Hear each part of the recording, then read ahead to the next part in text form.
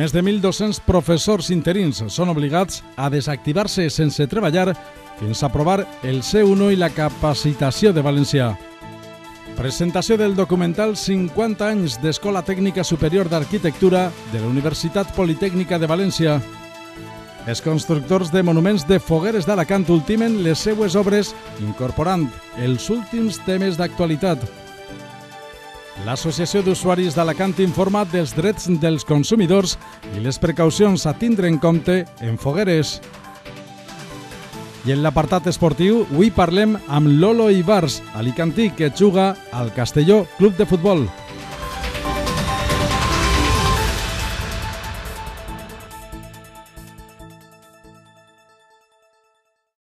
Què tal, senyores i senyors? Benvinguts a esta segona edició de l'informatiu Notícies 12 en 12 TV. Avui comencem a les portes del cap de setmana. Ho fem amb una notícia polèmica i és que més de 1.200 professors interins són obligats a desactivar-se sense treballar fins a aprovar el seu i la capacitació del valencià. El sindicat CECIF ha anunciat recursos judicials contra el Consell. La decisió del conseller d'Educació, Vicent Marçà, de mantindre en la bossa d'ocupació als professors interins que no tinguen la capacitació en valencià no ha convençut als més de 1.200 afectats de la província d'Alacant, ja que encara que mantinguen el seu puesto en la bossa, no podran treballar fins no tindre aprovat el nivell C1 més la capacitació en valencià. Esta decisió del Consell no sols no agrada al col·lectiu educatiu, sinó a la resta de la societat que tampoc el considera just. Bueno, la verdad es que me parece que es una manera de querer eh, culturizar eh, de una manera forzadamente y no, no lo veo muy ético. Bajo, bajo esa premisa, ¿no? Si tienen que aprender valenciano, tendrán que eh, aprenderlo, pero nunca bajo la premisa de, de, ser, de ser despedidos. Pues muy mal, porque cada uno, por ejemplo, yo soy de fuera, intento comprender el valenciano, pero no tengo por qué aguantar todo lo que nos digan, claro. Pues no, creo que no. Creo que no, creo que deben los profesores ni valenciano, ni catalán, ni inglés, ni francés, español. Y entonces, pues nada, si no aprenden el valenciano, ¿por qué tienen que ser despedidos? Es decir, ellos han hecho una profesión, tienen un título, tienen que ejercerlo y lo normal es que los chicos tengan que aprender español. I les protestes no tardaran a realitzar-se. De fet, en una assemblea celebrada a instàncies del sindicat CIF, es va decidir presentar recursos judicials, realitzar concentracions de protesta i una vaga indefinida si el conseller no fa marxa enrere. Massa ja té en l'actualitat en els tribunals el decret de plurilingüisme després de ser paralitzat per una decisió judicial que ha sigut recorreguda al seu torn pel Consell. Anem ara a passejar per els carrers de la ciutat d'Alacant. La falta de neteja deixa estampes de brosa i brutícia per nombrosos racons de la ciutat d'Alacant. Els alacantins es queixen de la brutícia en les xarxes socials i mostren fotos amb racons de la ciutat molt bruts. cucarachas, mosquitos, malos olores y mucha suciedad. Los vecinos de Alicante se quejan de la falta de limpieza en la ciudad y reclaman que para tratarse de una capital de provincia con aspiraciones turísticas, las calles dejan mucho que desear. Papeles, colillas, eh, yo que sé, basura que la dejan por ahí tirada, las papeleras que a veces están a rebosar o por el suelo, o sea, bastante suciedad. Y, bueno, y perdona, y aparte los arbolitos que han puesto, las jacarandas esas que ensucian una barbaridad. Pues no está muy limpia. La verdad, está sucia, exactamente, exactamente. Yo creo que antes estaba más limpia, ahora está un poquito dejada. Y en cambio San Juan lo he encontrado más limpio. Sí, sí, sí, sí. Antes había más cacas de perros y, ahora no. Y, los parques están muy cuidaditos, sí, sí.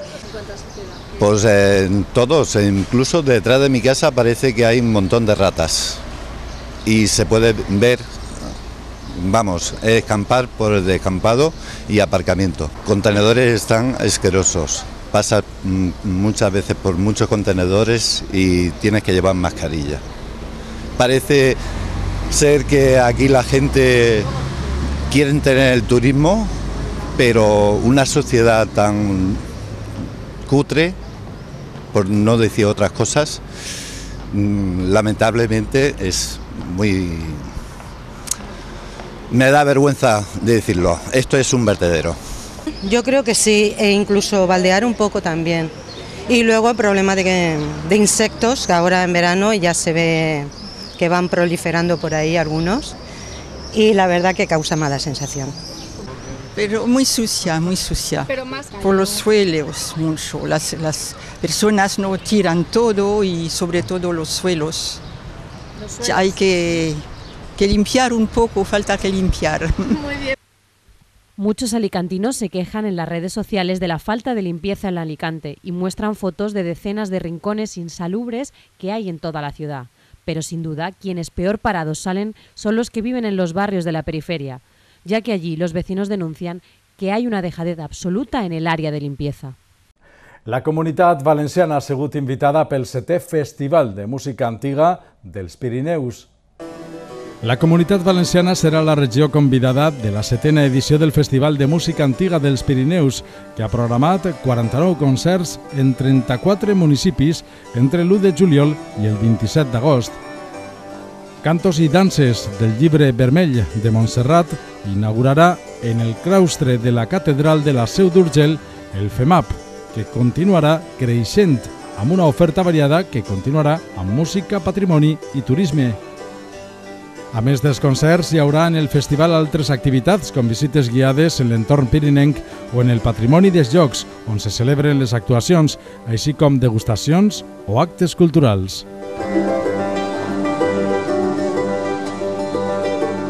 I parlem ara d'una figura entranyable, les matrones. Assistim a la 18 promoció de matrones de la Comunitat Valenciana. 12 han sido los trabajos de investigación en equipo tutorizados en la decimoctava promoción de enfermeras especialistas en obstetricia y ginecología de la Comunidad Valenciana. De entre todos ellos, autonómico de enfermería que ha entregado la matrona y vocal del CECOBA María Isabel Castelló. Un total de 42 enfermeras han obtenido el título de especialistas, una jornada muy especial tanto para las nuevas matronas como para la directora de la unidad docente Laura Fitera y todo el profesorado. Y es que han sido dos años de formación distribuidos entre las 3.600 horas lectivas de formación teórica y la formación práctica que se realiza en una serie de rotatorios, en hospitales, centros de salud y centros de salud sexual y reproductiva de la Comunidad Valenciana. A todas las nuevas especialistas, enhorabuena. Es complixen 50 anys d'estudis universitaris d'arquitectura en la Universitat Politècnica de València. Assistim a la presentació del documental 50 anys d'Escola Tècnica Superior d'Arquitectura d'esta universitat, la Politècnica de València. Recuperar la historia y mantener vivo el recuerdo es una manera de celebrar los 50 años de la Escuela Técnica Superior de Arquitectura de la Universidad Politécnica de Valencia. Esta celebración pone en valor el, la, corta historia de una escuela como esta Escuela de Arquitectura, lo mucho que se ha hecho y lo bien, ¿no? Es decir, una escuela que está posicionada entre las mejores de España, la mejor para muchas evaluaciones. Para recuperar la historia, la dirección de la escuela encargó la realización del documental 50 años de historia de la Escuela Técnica Superior de Arquitectura de Valencia. Se han recogido 56 testimonios de personas relacionadas con los inicios de la escuela hasta el de una alumna de primer curso.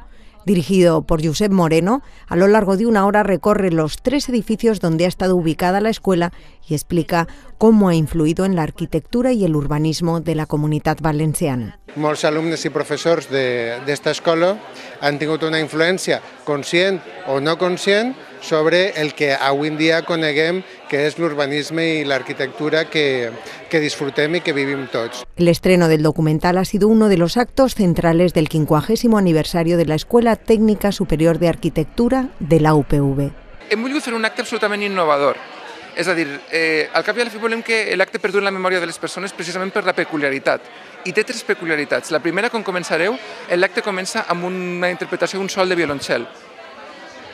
Després hi haurà un saluda meu i, un, i, un, i una benvinguda que tinc previst que dure 3 minuts i automàticament passarem a l'estrena de la pel·lícula, perquè la gent ha vingut a que siguin els protagonistes que li narren la història amb imatges. La presentación ha contado con la asistencia de diferentes personalidades del mundo de la cultura, la política y la arquitectura, como Beatriz Colomina, arquitecta e hija del segundo director de la escuela, Miguel Colomina. Desde la Universidad de Princeton se ha especializado en la relación entre los medios de comunicación y las redes sociales con la arquitectura. También me interesa mucho la manera en que lo que es público y lo que es privado uh, se ha transformado con la llegada de las redes sociales. Esto tiene un impacto enorme en la arquitectura porque la arquitectura siempre de alguna manera trata de definir lo que es público y lo que es privado y estamos en un momento de una gran revolución eh, en estos conceptos. El documental puede verse en tv.upv.es, la web TV de la UPV y en el canal de YouTube de UPV RTV. Los actos conmemorativos de este aniversario está previsto que se clausuren el mes de julio con una conferencia del historiador Paul Preston. I parlant d'aniversaris acadèmics, anem ara a la secció de la salut, i és que es complixen 40 anys, el 40 aniversari d'infermeria en la universitat. Tras la muerte de Franco en 1975, España vive una etapa convulsa. A la inestabilidad política se unen los conflictos en las universidades y los laborales. Enfermería no es ajena a estos cambios. Teníamos fe, esperanza y claridad con él. Teníamos fe en lo que lo que hacíamos era lo que era necesario para que una profesión como la enfermería llegara a ser aquello para lo que estaba concebida. Esperanza de que íbamos a lograr los objetivos y la claridad de saber que nuestras ideas eran las que se iban a triunfar finalmente.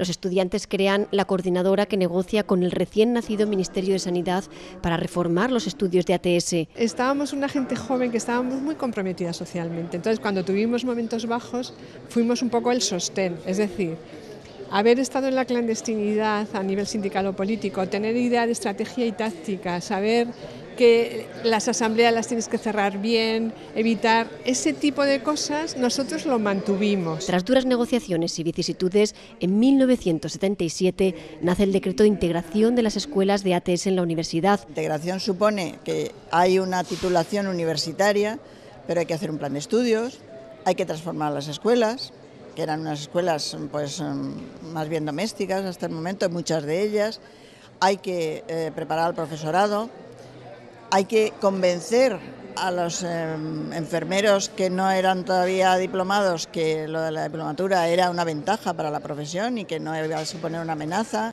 Se pone así la semilla de los estudios actuales de enfermería, los que hicieron posible que el mundo de los cuidados consiguiera ser objeto de investigación. Supone poder ser líderes en su propio campo, supone poder ampliar conocimientos basados en la evidencia, no solo en la tradición.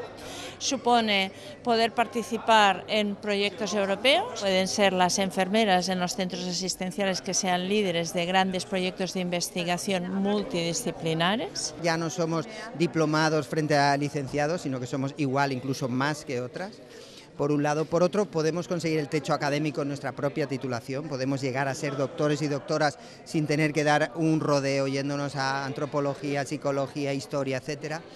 Y tres, ese año más de formación, esa mayor cantidad de horas prácticas, ese trabajo fin de grado, esa perspectiva directa de ir a máster, doctorado, yo creo que está permitiendo que salgan enfermeras más maduras, mejor formadas. Que la profesión mirará hacia el mundo de la dirección, el máximo responsable de la gestión de enfermería en las instituciones sanitarias, pasa de ser la jefa de enfermería con un enfoque profesional más centrado en el, en, el cuidado basado en las órdenes médicas a pasar a, a, una gestión del cuidado autónoma, pero también establece cuáles son las áreas de responsabilidad de esta dirección de enfermería. Y que los cuidados se El desarrollo de las especialidades tiene solamente una finalidad y es profundizar en aquellas áreas del cuidado que requieren una mayor complejidad y qué es lo que están proporcionando mayor calidad, mayor seguridad, mayor bienestar en las personas que son atendidas. Una enfermería moderna que hoy rinde homenaje a todos aquellos que hicieron posible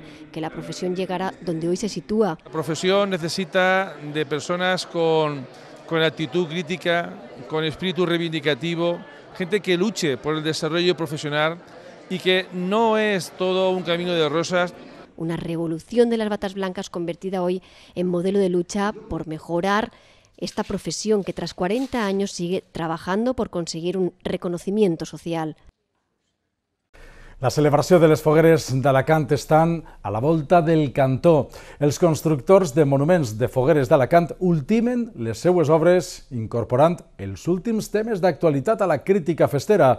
La vida política local serà, sens dubte, un dels recursos més utilitzats. Els artistes foguerers ultimen els seus monuments per adornar els carrers d'Alacant i ja esperen il·lusionats conèixer quins seran els ninots indultats d'estes festes. Pues mira, en este momento nos encontramos a la espera de saber cuáles serán los ninos indultados de la ciudad, tanto adulto como infantil, junto con los ninos premiados por el jurado.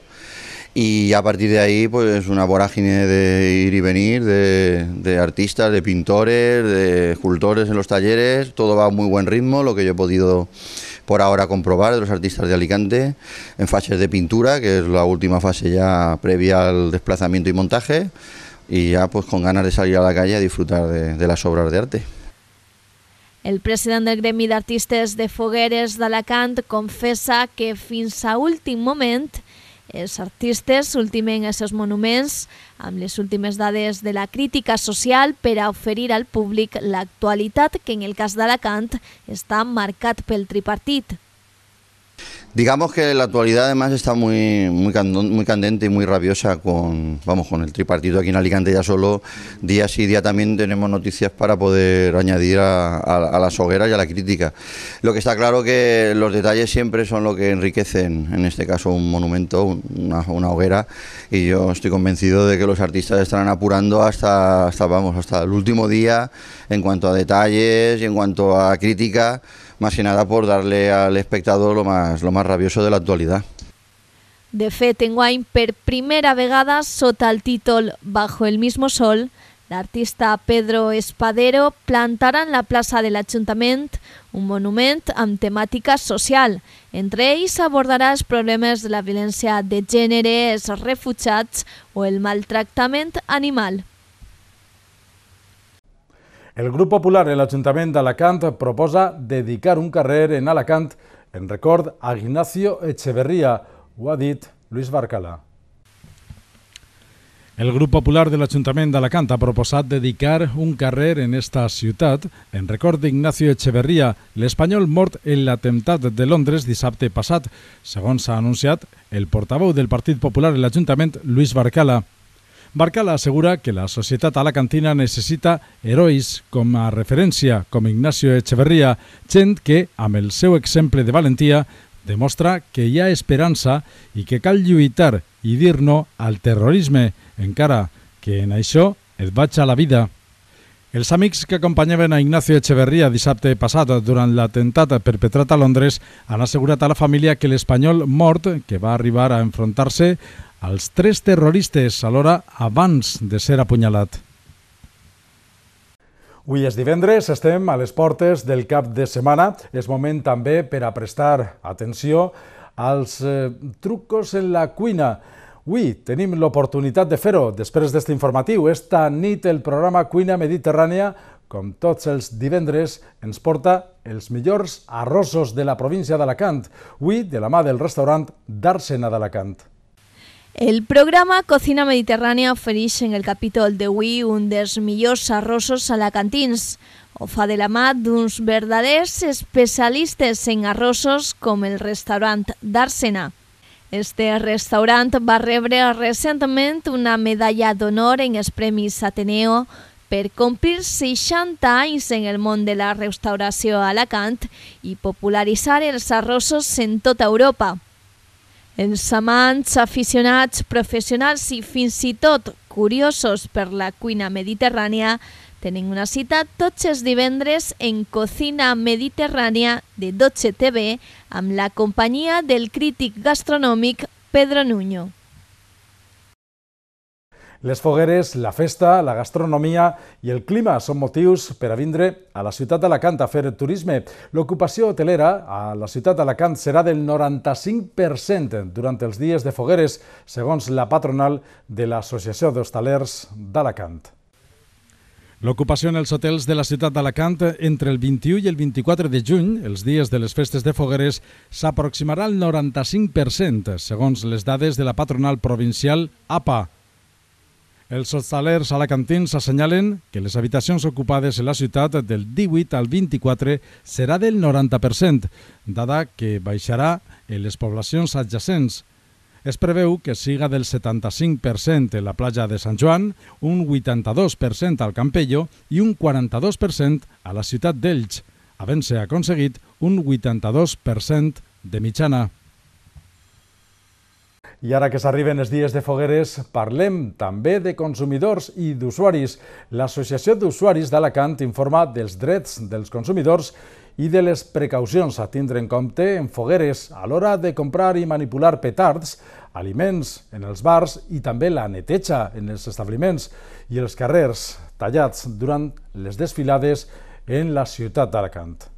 Las luces en las calles, las mantillas, los trajes de novia alicantina y el olor a pólvora nos anuncian la proximidad de las hogueras.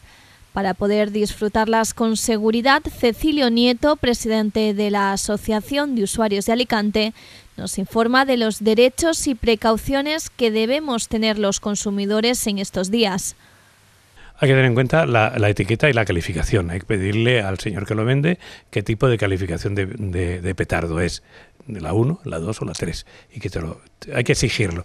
Y de conservación tiene que estar perfectamente en plásticos conservados, que no hable del sol, que no se deteriore. Si no, la, la pólvora puede luego estallar a destiempo y puede causar problemas. También nos recuerda la importancia de estar atentos a lo que comemos y dónde lo compramos. Es importante que llevemos cuidado con aquellos productos perecederos como salsas, mayonesas y ese tipo de cosas pueden estar en mal estado. Segundo, los puestos ambulantes es necesario guardar unas normas higiénicas necesarias. Todo plastificado, que no le esté dando el sol, que tenga agua corriente, eh, en fin, una serie de normas sanitarias imprescindibles y llevar mucho cuidado con lo que se compra. Desde la Asociación de Usuarios instan al Ayuntamiento de Alicante a revisar la relación de calles cortadas para facilitar el desplazamiento a los alicantinos y servicios de emergencias todos los años tenemos el mismo problema. Eh, la planificación de las calles no siempre es la óptima. A veces te encuentras con que hay tres o cuatro calles que van en la misma dirección y apenas puedes ir en dirección contraria. Estoy pensando en caso de las ambulancias, en caso de las emergencias. Si no se planifica adecuadamente y de un modo provisional estos días, dejar una de subida y otra de bajada, alternándose, podemos tener problemas, serios problemas. Y también con los agentes de seguridad. Es muy dado a los robos, a las extorsiones, eh, en fin, a los maleantes. Y entonces eh, pido que la policía se despliegue no solamente en el perímetro mm, de donde van a estallar las tracas y los fuegos artificiales, sino también en las grandes vías de aglomeración ciudadana. Durante la semana del 21 al 24 de junio, las calles de Alicante combinarán la normalidad laboral con los actos festivos de hogueras, por lo que cabe organizarse bien para disfrutar de las hogueras al máximo. Els comerciants del vell Mercat Central d'Elx hauran d'abandonar l'edifici després de la resolució de la Junta de Govern local que, atenent a l'informe de la Conselleria, veu necessari excavar en tot l'edifici tindran un termini de 15 dies després de la resolució de la Junta de Govern local d'Elx de la setmana que ve, després de l'informe elaborat per Conselleria sobre els tastos del Mercat Central, que dictamina que és necessari excavar en tota la planta de l'edifici, en la plaça de les Flors i en la plaça de la Fruita. Una actuació que no s'ha realitzat en la segona fase per a garantir la seguretat dels plauers que quedaven en l'edifici i també l'accés a la primera planta de l'edifici. L'edil de Mercats, Carlos González, es va reunir amb ells fa un mes, on ja van contemplar totes les possibilitats. L'alcalde d'Elx en recorda que la seva intenció sempre ha sigut garantir l'activitat amb normalitat d'eixos plauers sempre que poguera, però l'informe de la Conselleria obliga a prendre esta mesura de desallotjament. L'organització ecològica Greenpeace advertís que el mar Mediterrani està aconseguint una densitat de residus de plàstic comparable a les conegudes com a sopes de plàstic del Pacífic. amb una peça cada 4 metres quadrats. Sobre el Barcell de Greenpeace, que estos dies està a València, ha parlat l'alcalde Joan Ribó.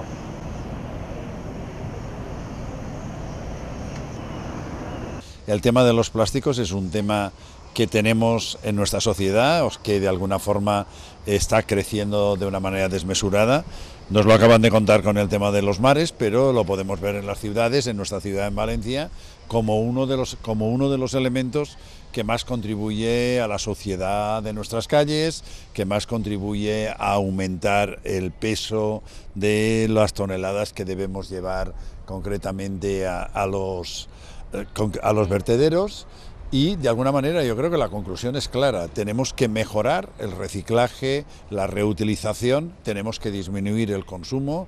Tantos envases no son imprescindibles, yo creo que es un tema que es muy claro, pero en cualquier caso es imprescindible que de alguna forma nos seamos responsables de los mismos. Hay que buscar métodos, hay métodos por ahí que de alguna forma minimizan estos plásticos que se pierden en el medio ambiente, que se pierden en el mar, que se pierden en nuestras calles y yo creo que es una tarea fundamental de la Generalitat, del Ayuntamiento, trabajar en esa dirección. Eh, el Ayuntamiento de Valencia ganaría mucho, entre otras cosas, por ese tema, aparte de por una mejora del medio ambiente, por una reducción en los costes de limpieza, por una reducción en los costes de, concretamente, de los materiales que tenemos que enviar al vertedero y es un tema en el cual nosotros estamos preocupados, colaborando con la Generalitat para introducir sistemas que mejoren significativamente este tema. Bueno, hoy con motivo del Día Mundial de los Océanos hemos lanzado una campaña a nivel europeo para concienciar y para alertar ¿no? de la contaminación que sufre el mar Mediterráneo por plásticos. Esto es un caso que, bueno, eh, estamos hablando de las famosas islas de plástico en, en, los océanos, pero nadie habla de la concentración de plásticos que tiene el Mediterráneo y desgraciadamente tenemos que decir que según los estudios que tenemos, incluso los científicos que vienen a bordo, bueno, pues nos están diciendo claramente que la concentración de plásticos en el Mediterráneo es similar a la de esas famosas islas que se encuentran pues, tanto en el Pacífico como en el Atlántico.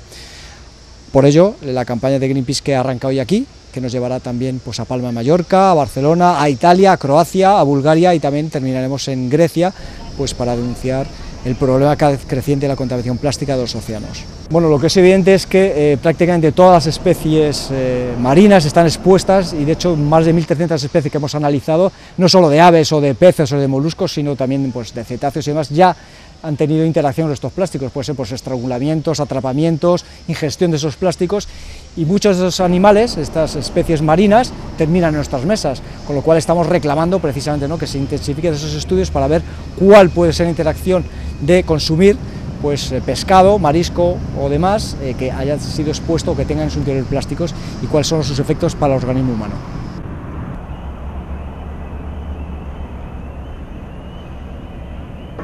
El Partit Popular de la Comunitat Valenciana iniciarà accions per a evidenciar els incompliments del Consell en el segon aniversari del Pacte del Botànic. La secretària general del Partit Popular de la Comunitat Valenciana, Eva Ortiz, ha anunciat que el Partit Popular iniciarà accions per a posar de manifest els incompliments del Consell al motiu del segon aniversari de la signatura del Pacte del Botànic. La secretària general dels Populars ha explicat que aquestes accions se celebraran en les tres capitals de província de la comunitat i en els municipis de més de 50.000 habitants. Es parlarà de les inversions que no han arribat i posaran damunt de la taula la falta de compliment en l'execució dels pressupostos de la Generalitat, segons ha assenyalat Eva Ortiz. Les accions tindran lloc fins al 30 de juny. Homenatge a Miguel Hernández 75. Benicarlo recupera la memòria històrica i patrimonial en l'exposició dedicada al poeta en el 75 aniversari de la seva mort, on participen 130 artistes d'arreu del territori i es podrà visitar fins al 10 de setembre. L'exposició homenatge a Miguel Hernández, dedicada a l'aniversari de la mort del poeta Oriola, compta amb més de 130 artistes darrer del territori i es podrà visitar fins al 10 de setembre en la primera planta del MUCBE, en Benicarló. La mostra, de gran envergadura i potència visual, mostra les creacions de diversos artistes que ocupaven també altres espais del convent, com la capella recent restaurada, un camí ple de simbolisme taxonat per homenatges i tributs artístics al poeta Miguel Hernández. La inauguració va comptar amb l'assistència de l'alcaldessa Charo Miralles i el regidor de Cultura Josep Barberà, que van presidir l'acte acompanyats per la comissària de la mostra Carme Jorques, la qual destacava que arribava d'Alacant a Benicarló, passant per davant d'altres ciutats com Madrid o Barcelona.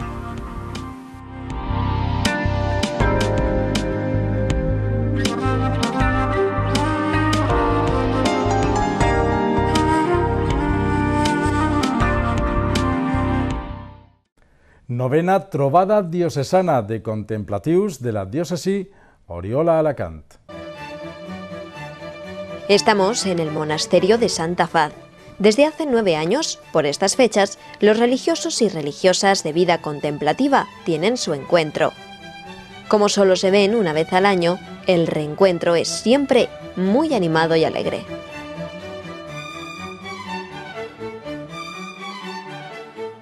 En este monasterio de Santa Faz reside una comunidad de clarisas. ¿Por qué se celebra precisamente aquí el encuentro de este año? El motivo de celebrar eh, el encuentro de las contemplativas en el monasterio de la Santa Faz es porque eh, este año empezamos, eh, abrimos el centenario de la fundación de las Clarisas en Santa Faz. Y luego también porque nos da mucha alegría recibir a las hermanas, a la diócesis, en nuestra casa, sentirte iglesia. Tras la acogida, el delegado de nuestra diócesis para la vida consagrada, Francisco Rayos, presenta la jornada también aprovecha para hablar de algunos temas diocesanos de importancia, como el Plan Diocesano de Pastoral o el próximo encuentro de toda la diócesis para temas igualmente pastorales. En estos encuentros siempre hay una ponencia. Hoy es el sacerdote franciscano José Luis Parada quien presenta el último escrito del Papa dedicado a las contemplativas. Su título, Buscar el rostro de Dios. Y después, en el marco inconfundible de la Iglesia de la Santa Faz, tiene lugar la celebración de la Eucaristía. Una imagen mariana, en el presbiterio, nos recuerda que hoy es la fiesta de la visitación de la Virgen María a Isabel, su prima. La història del Banc Popular té ja de 90 anys en Espanya i és motiu d'anàlisi. Analitzem la situació d'absorció del Banc Popular i efectes en l'economia de les empreses i usuaris d'este banc en la província d'Alacant. Ho conta Carlos Rico en l'Espai Econòmic.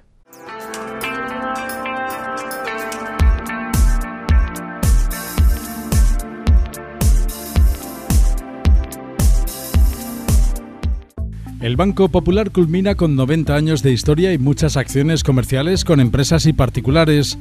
Cabe recordar que ya ayudaron a las cajas de ahorros en la comunidad valenciana y a empresas alicantinas en expansión. Hoy analizamos la absorción del Banco Popular con nuestro consultor Carlos Enrico. Hablar en un espacio económico y financiero de, digamos, de sentimientos, de romanticismo, es un tanto complicado.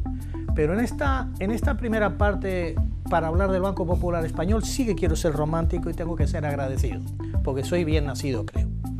Tenemos que dar en particular las gracias, yo personalmente las gracias a todos los empleados y directivos de primera línea del Banco Popular en las oficinas que durante 45 años me han permitido colaborar con ellos y siempre he encontrado a unos grandísimos profesionales volcados con sus clientes. Son 90 años de historia, de los cuales 45 he compartido con ellos a diario y les doy las gracias y un fuerte abrazo.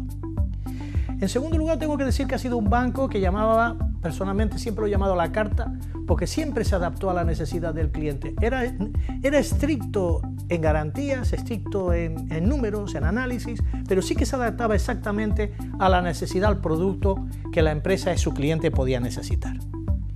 Y cuando surgía un problema, con el Banco Popular se podía hablar. Y es raro en el sector financiero. Surgía el problema, lo hablábamos y siempre se encontraba una solución buena para ambas partes. Y no hay que olvidar tampoco es que durante la crisis bancaria, mejor dicho, de las cajas, el Banco Popular Español también puso dinero para solucionar este problema de las cajas. Se habla de que esta intervención se produce por una, una fuga masiva de depósitos.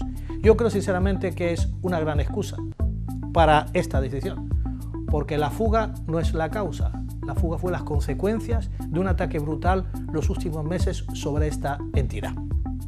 ¿Con qué objetivo? Yo tengo mi opinión, pero yo le dejo a ustedes la reflexión. En este momento cabe hacer balance de todas las operaciones comerciales que el Banco Popular ha hecho en la provincia de Alicante y también en el futuro de esta entidad, lo que pasará con las oficinas y con los empleados de este banco. Eh, me sorprende profundamente la, la autosatisfacción de las autoridades europeas, nacionales, del mundo financiero sobre esta decisión. Es mucho más profundo todo esto. ¿Cómo se puede estar contento cuando dejamos a 300.000 accionistas, ahorradores, con, con cero euros de patrimonio ahorrado en las acciones y en, el, y en algún caso en el tema de los bonos del propio Banco Popular? ¿Es válido que, que, los medios digamos que hay una serie de señores multimillonarios que han perdido también en esas acciones ¿Queremos decir con esto que los 300.000 accionistas del Banco Popular son millonarios? No sé, no es verdad. 300.000 accionistas del Banco Popular son accionistas, la gran mayoría de ellos modestos, modestos. Accionistas que han empleado, que han cogido sus ahorros y lo han puesto en acciones de su banco de toda la vida. Ese banco que tiene 90 años de historia y que ha tenido muy buenas rentabilidades. Esos empleados que también han confiado con su banco y en vez de vender las acciones que, han comprado o han recibido por su trabajo, han confiado en el banco y las han mantenido. Y pequeña y mediana empresa que para apoyar al banco que también les apoyaba a ellos, que los apoyaba a nosotros, también compró acciones de Banco Popular para ayudarles, porque de la misma manera que la banca ayuda a las empresas, las empresas también tienen y pueden ayudar a la banca en momentos importantes de la vida de ambas partes. Y Europa puede estar feliz de encontrar por primera vez esa solución que dice que se disuelve esto y no pasa absolutamente nada? ¿Para eso pagamos a los eh, financieros europeos? ¿Para eso pagamos y mantenemos los órganos de control, las instituciones de control en nuestro país? Yo me hago preguntas, pero lo que no puedo aceptar, y preguntas a veces difíciles de resolver, en un mundo tan global, tan financiero, tan complejo, tan multinacional, tan presionado, yo me puedo hacer muchas preguntas, pero tener la satisfacción de decir que hay 300.000 personas que han sido perjudicadas y estar contentos, son tan españoles como nosotros, tan ahorradores como nosotros y seguramente tan modestos como nosotros. Spy patrocinat per Titanitos. Zapatos de siempre para niños de hoy. Titanitos.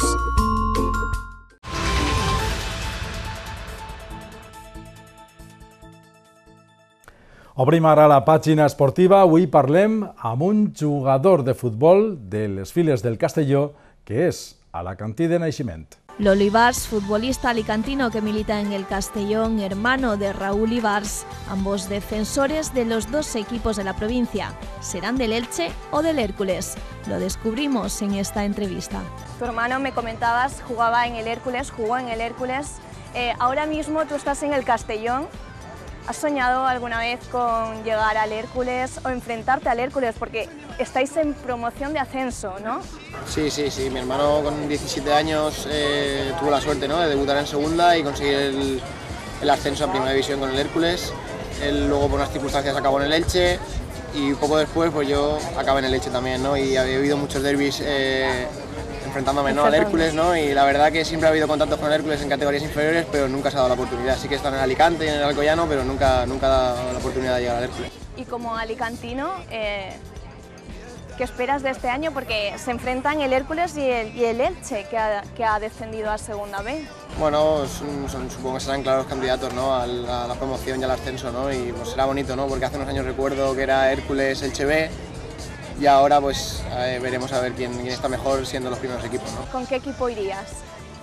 Pues la verdad que yo ahora, mismo, a día de hoy, yo creo que iría con el, con el Elche, pero por el pasado que he tenido, ¿no? Pero simpatizo mucho con el Hércules, ¿no? Es el equipo de la ciudad, también mi hermano ha, disfrutado de jugar aquí en el Tico Pérez, ¿no? Que, al final es, el equipo de tu ciudad, ¿no? Pero bueno, al final hay que ganar el mejor. Esto, lo, está escuchando tu hermano y toda tu familia, ¿no? ¿Van a decir algo? No, al final... o la familia ya lo tiene... Siempre, hay un derby lo llaman, ¿no? Como han coincidido los dos equipos, ¿no? Pero al final nosotros nos gusta el fútbol, ¿no? En casa somos del Madrid, pero cuando el Barça tuvo la época buena, pues disfrutamos viendo viendo al, al, Barça y el Hércules igual. Hace años estaba en primera y vamos al Rico Pérez a ver fútbol de primera y hace poquito estaba Leche y igual, ¿no? Nos queremos que haya buen fútbol y nos gusta disfrutar del fútbol. Y en caso de que, que se diera el caso del que el Castellón ascendiera, que estáis en un momento un poco complicado, ¿no? Cuéntame un poco la situación en la que, por la que estáis pasando los jugadores, que muchas veces la gente no sabe lo difícil que es para, para los deportistas eh, y eh, apostar por esa pasión, en este caso el tuyo, el fútbol, ¿no?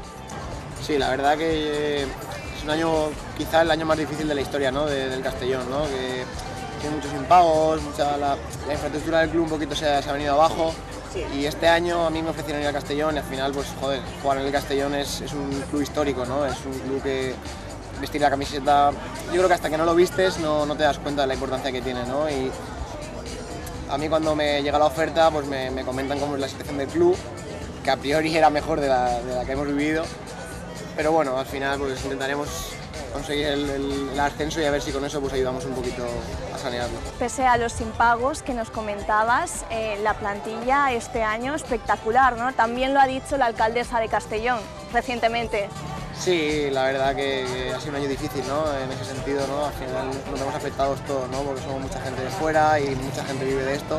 Es complicado, ¿no? Allá a raíz de noviembre, diciembre, el club dejó de, pagar, ha ido pagando como ha podido, pero al final la afición está un poquito mosqueada con la directiva, deja de ir al campo, no hay ingresos, se hace complicado, ¿no? Y la verdad que el rendimiento del equipo yo creo que, eh, que no se puede reprochar nada, ¿no? Eh, cinco o seis meses sin cobrar, el equipo se ha metido en playoff, hemos pasado la primera ronda, la segunda ronda en la ida 4-2, una ventaja bastante importante y yo creo que al final es lo que ha hecho fuerte ¿no? al equipo, ¿no? tanta dificultad para seguir el día a día, hemos hecho un grupo, una piña, una familia y gracias a eso yo creo que los objetivos están cumplidos. Bueno, en el caso de que ascendáis, espero que nosotros, este equipo de deportes, esté invitado a la fiesta del ascenso. Por supuesto, por supuesto que sí. Ojalá podamos invitar a todo el mundo, que será una buena señal.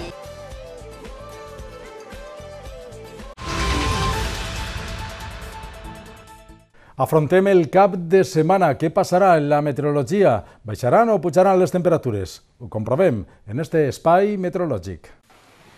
El temps a València s'estabilitza i ja presenta símptomes estivals. Així el cel estarà aclarit este dimarts en la comunitat valenciana en una jornada en què les temperatures màximes pujaran inclús de forma notable en determinades localitats com Orihuela, on arribaran als 34 graus, a Elx els 32 graus i a Ontinyent els 31 graus. D'esta manera, la jornada de demà presentarà el cel poc ennuvolat amb alguns intervals de núvols alts. En l'interior de Castelló hi haurà nuvolositat d'evolució diurna sense descartar algun ruixat aïllat. En el litoral el vent bufarà de sud-oest fluix a moderat i en la resta de component oest fluix, girant en general al migdia de component est fluix.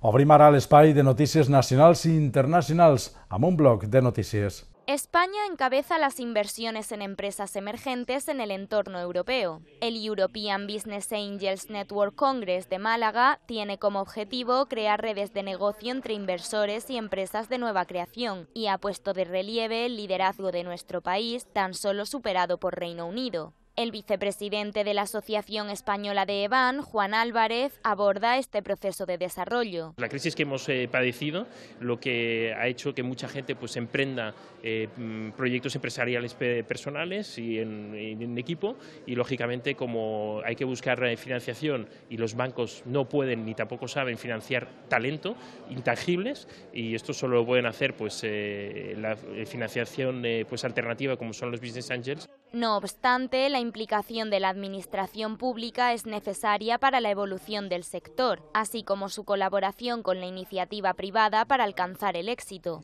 El alcalde de Málaga, Francisco de la Torre, resalta la capacidad de la ciudad para apoyar el emprendimiento. Siempre estamos en, esa materia tratando de ofrecer lo mejor en Málaga para que el talento local y el talento de fuera tengan posibilidades de eh, fructificar. Y este encuentro justamente eh, trata de crear contacto, red de contacto entre eh, emprendedores que pueden necesitar capital Durante los primeros seis meses del 2017, los 2.000 inversores que representa a Evan han invertido casi 400 millones de euros en compañías de nueva creación. Unos resultados que demuestran, a pesar de la juventud de nuestros inversores nacionales, la importancia de impulsar el talento andaluz y español en el marco empresarial internacional.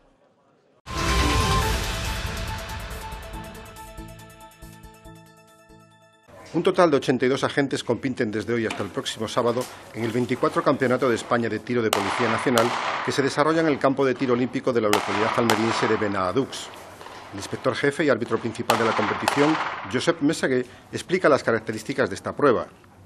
Eh, básicamente se simulan situaciones reales que se dan, eh, como ven los policías van con su uniforme de diario y eh, se hacen al aire libre, no en una galería cerrada, para que se vea la dificultad de que el sol incide sobre las miras, la dificultad de ver los objetos y la dificultad de ver eh, dónde le hemos dado con el disparo. Eh, también ponemos eh, muchas siluetas no puntuables para simular civiles que están en medio de las, de las personas a las que hay que abatir para precisamente acostumbrarse a tirar en circunstancias que no son las teóricas, sino que son las, las reales de la calle. Los participantes utilizan tres tipos de armas, la reglamentaria de la Policía Nacional, una escopeta y revólveres del calibre 38. Las pruebas cuentan con dos clasificaciones, una por equipos y otra individual, y la mayoría de los ocho ejercicios incluidos en la programación se realizan contrarreloj, de forma que el cronómetro se para cuando se realiza el último disparo. Los campeones de este torneo irán directamente al próximo campeonato del mundo que se celebre como representantes de la Policía Española.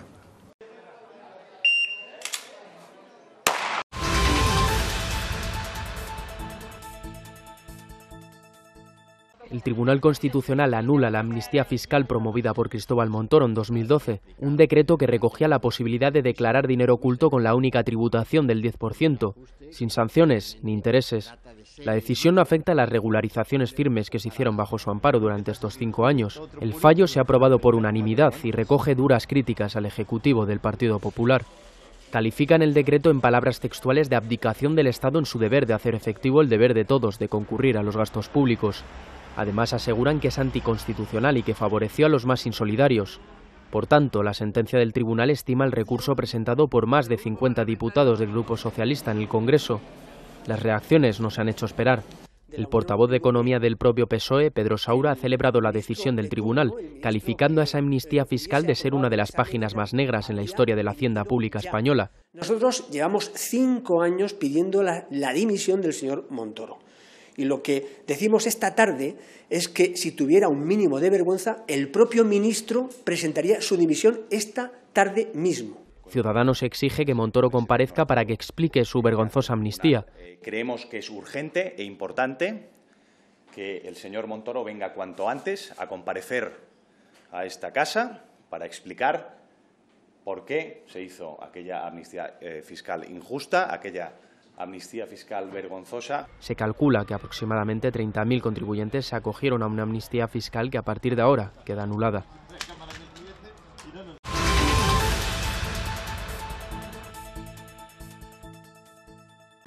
La momia que ahora es mujer despierta esta semana en los cines.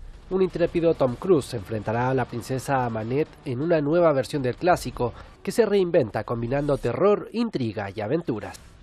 Iwan McGregor debuta como director en Pastoral Americana. El británico también protagoniza la cinta en la que un matrimonio afronta la desaparición de su hija tras ser acusada de cometer un acto violento. Una prostituta sin ojos, un joven que quiere cortarse las piernas para ser sirena o una mujer con la cara deformada son algunos de los protagonistas de Pieles, el primer largometraje de Eduardo Casanova. Viaje épico hacia los orígenes de Cataluña, Patria cuenta la historia de Otger Cataló, el caballero que según la leyenda conquistó estos territorios y de cuyo apellido derivaría el nombre de la comunidad autónoma. Marion Cotillard protagoniza El sueño de Gabriel, drama romántico basado en la novela Mal de Piedras, en el que una mujer casada por conveniencia encuentra el amor fuera del matrimonio. No quiero dejarte. La también francesa Testigo pone el foco en Duval, un hombre en paro al que le ofrecen un empleo muy bien pagado, que consiste sencillamente en transcribir llamadas telefónicas interceptadas. La comedia Una policía en apuros cuenta la historia de una joven que aspira a integrar el grupo de policías de élite, para lo que además de un duro entrenamiento deberá hacer frente a un policía misógino. Cierra la cartelera Capitán Calzoncillos, su primer peliculón, comedia de animación en la que Jorge y Berto, dos traviesos estudiantes, hipnotizan al director de su colegio para convertirlo en su héroe de cómic. ¡Es el increíble Capitán Calzoncillos! ¡Ta, Apleguem a la fi d'esta segona edició de l'Informatiu Notícies 12 de 8 divendres. Ens acomiadem de tots vostès amb el so el estruendo de la mascletà de les fogueres. La mascletà de diumenge passat per anunciar que este cap de setmana són les segones mascletades prèvies de fogueres d'Alacant. Dissabte i diumenge a les 2 de migdia en la plaça dels Estels d'Alacant. Que tinguen un bon cap de setmana, disfruten i tornem dilluns.